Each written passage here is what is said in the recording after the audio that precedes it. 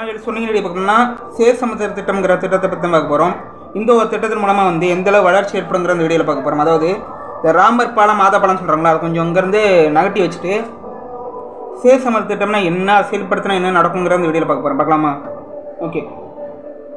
இந்த சேர் திட்டம் வந்து மொத்தமாக வந்து எப்போ இருந்து இந்த சேர் ஆரம்பிக்கலான்னு சொல்லிட்டு இருக்காங்கன்னா கரெக்டாக வந்து நூற்றி அறுபத்தி மூணு வருஷம் ஆயிடுச்சு. இந்த ரெண்டாயிரத்தி இருபத்தி மூணாக சேர்த்து நூற்றி அறுபத்தி மூணு வருஷம் மூணு வருஷம் ஆயிடுச்சு. ஸோ இத்தனை வருஷமாக வந்து சேர் சமுத்திர திட்டம்ங்கிற திட்டத்தை வந்து செயல்படுத்தின்னு இருக்காங்க.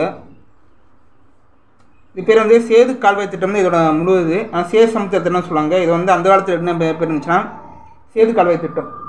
ஓகேவா இந்த சேது சேது சமுத்திரம் என்ன கேட்டிங்கன்னா மன்னர் வளைவடவில் வந்து இந்தியா இலங்கையை இணைக்கக்கூடிய சுண்ணாம்பு திட்டுகள். அந்த அப்படின்னு சொல்லப்படுற ராம ராமர் பாலங்கிறதுக்கு வந்து அங்கே உறுதியான ஆதாரங்கள் இல்லை. ஏன்னா சுண்ணாம்பு பாறைகள் அங்கே வந்து ஆங்கிலேயர் காலத்தில் ஆட்சி பண்ணி அங்கே ஆராய்ச்சி பண்ணி தெரிஞ்சிருச்சு. ஸோ சுண்ணாம்பு திட்டுங்கிறதுனால அது ராமர் பாலம் இருக்க உறுதியான ஆதாரம்னு சொல்லப்படுது.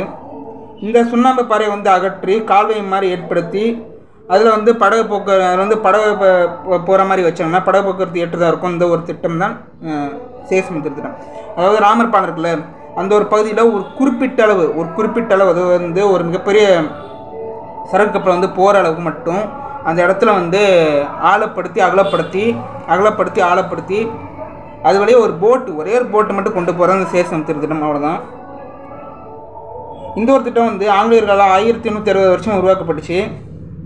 இந்த திட்டத்தினால தென் மா தென் மாவட்ட மக்களோட வாழ்வாதாரமும் பொருளாதாரமும் பல மடங்கு உயர உயரங்கிறது. ஆய்வாளர்களோட ஒரு ஒருமித்த கருத்தாகவே இருக்குது எப்படின்னு கேட்டிங்கன்னா இந்திய தீபகற்பம் உங்களுக்கு தெரியும். இது முக்கோணமாக இருக்கும். நம்மளாம் மேப்பில் பார்த்துருப்போம் ஓகேவா அந்த ஒரு இடத்து வழியாக வந்து கப்பல் போக்குவரத்து போகிறதுக்கு வந்து பாதை கிடையாது. அதாவது இப்போ வந்து ஒரு போட்டு வந்து இப்போ எப்படி சொல்கிறதுனா கல்கத்தால இருந்து கரெக்டாக கன்னியாகுமரியோ இல்லை தூத்துக்குடியோ இல்லை தூத்துக்குடியிலேருந்து விசாகப்பட்டினமாக போகணும்னு நினச்சிங்கன்னா பார்த்துங்களேன் நம்ம வந்து ஸ்ட்ரெயிட்டாக போக முடியாது. இலங்கையை சுற்றி தான் நம்ம போக இப்போ இலங்கையை சுற்றி தான் இன்றைக்கி வரைக்கும் போட் எல்லாம் போயிட்டுருக்கு மிகப்பெரிய கப்பல்கள்லாம் இந்த சேது கால்வாய்ங்கிறது இந்த சேசமுத்திரத்திட்ட வந்து அமைஞ்ச அந்த கப்பல்கள் போகிற நேரம் வந்து குறைன்னு சொல்லப்படுது. எப்படின்னு கேட்டிங்கன்னா தூத்துக்குடி துறைமுகத்துலேருந்து சென்னை துறைமுகத்துக்கு போ போகிற போகிற தூரத்தில் நானூற்றி முப்பத்தி நாலு மைல் தூரம் வந்து மிச்சப்படுத்தப்படுமா அதோட சேர்த்து தூத்துக்குடியிலேருந்து விசாகப்பட்டினம் போகிற இதில் வந்து முந்நூற்றி எழுபத்தாறு மைல் தூரம் வந்து மிச்சப்படுத்தப்படும் தூத்துக்குடியிலேருந்து கல்கத்தா போகிற வழியில் வந்து துறைமுகம் போகிற வழியில் முந்நூற்றி நாற்பது மைல் வந்து மிச்சப்படுத்தப்படும் அப்படின்னு சொல்லப்படுது.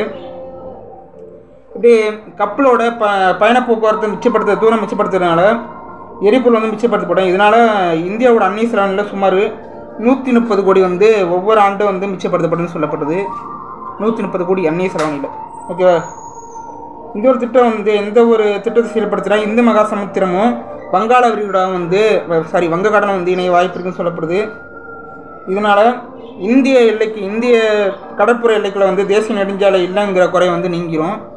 அது மட்டும் இல்லாமல் வந்து இப்போ இருக்கிற கப்பல்லாம் வந்து இப்போ இப்போ இருக்கிற கப்பல் போக்குவரத்து வந்து எப்படின்னு கேட்டிங்கன்னா இலங்கை சுற்றி போகிறதுனால புயல் அபாயங்களில் சிக்கி சிக்கிறதுக்கு வந்து ரொம்ப வாய்ப்பு இருக்குது அது மட்டும் இல்லாமல் இந்த சேது கால்வாய் மூலமாக போனால் வந்து பார்த்திங்கன்னா அந்த புயல் மாதிரி எந்த விஷயம் வா- ஏற்பட வாய்ப்பு கிடையாது. ஏன்னா காலை வெட்ட வெட்டப்பட்ட வந்து இந்தியாவோட தென்பகுதியில் வந்து ஒரு பாதுகாப்பு இருக்கும். எப்போவுமே போக்குவரத்து வந்து கப்பல் போக்குவரத்து இருக்கிறதுனால ஒரு மிகப்பெரிய அளவில் வந்து இந்தியாவோட கடல் வழியில் வந்து ஒரு மிகப்பெரிய அதாவது இந்திய பெருங்கடலை வந்து ஒரு பாதுகாப்பரணாக இருக்குன்னு சொல்லப்படுது. அது மட்டும் இல்லாமல் வந்து தமிழக கடலோர பகுதியில் வந்து தொழில் வளர்ச்சியும் பெருகும் பொருளாதார வளர்ச்சியும் அடையுங்கிறது.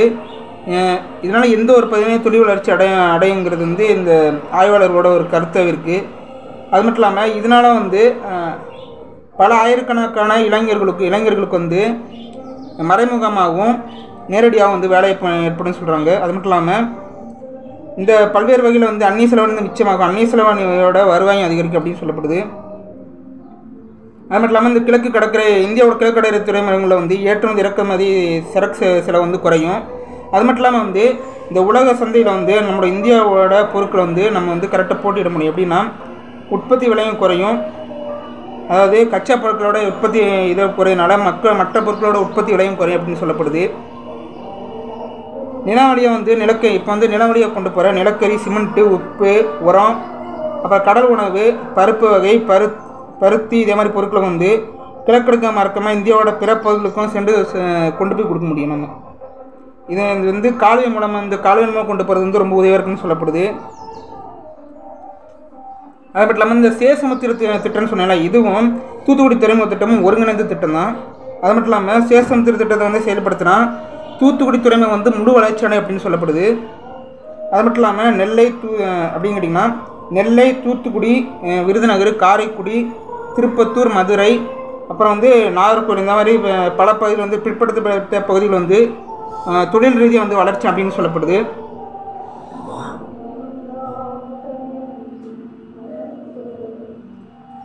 இன்னொரு விஷயம் என்ன கேட்டிங்கன்னா தொண்டியில் வந்து பதினாறு கோடி செலவில் வந்து சிறு தொண்டி தொண்டி திறமை தெரியும் அங்கிட்ட வந்து தொண்டி பகுதிகளில் வந்து பதினாறு கோடியில இருந்து பதினாறு கோடி செலவில் வந்து சிறு கப்பல் தங்குத்தளமும் முத்துப்பேட்டையில் வந்து சிறு சிறு மீன்பிடி துறைமுகங்களும் வந்து உருவாகும்.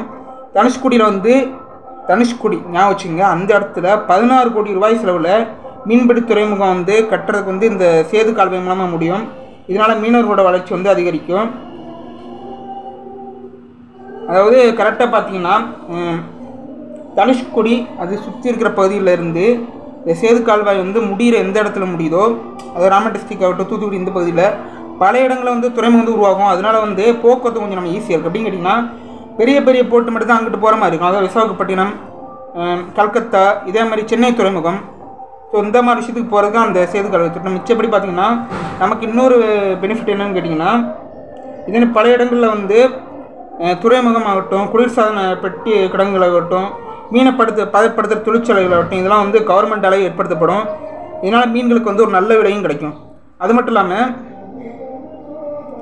இத்தனை இலங்கை இலங்கை கடற்படை இருக்காங்களா? அவங்க எல்லை எல்லையை எல்லையை தாண்டி போய் எல்லையை போய் மீனவர்கள் வந்து கடலுக்கு போய் இலங்கை மீன்படையினரால் அவதிக்குள்ளாகிற அந்த ஒரு நிலையம் மாறும். அது மட்டும் இல்லாமல் இது வந்து ஒரு மிகப்பெரிய ஒரு வந்து சுற்றுலா ஒரு எப்படி சொன்னால் ஒரு சுற்றுலா மையமாயிரும் இந்த இடமே.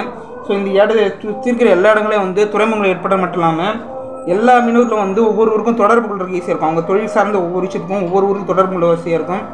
இதனால் மீனவர்களோட வளர்ச்சி வந்து கண்டிப்பாக வந்து நடக்கும். இதான் சேசமுத்திர திட்டம் அந்த ஒரு திட்டம் இதான்.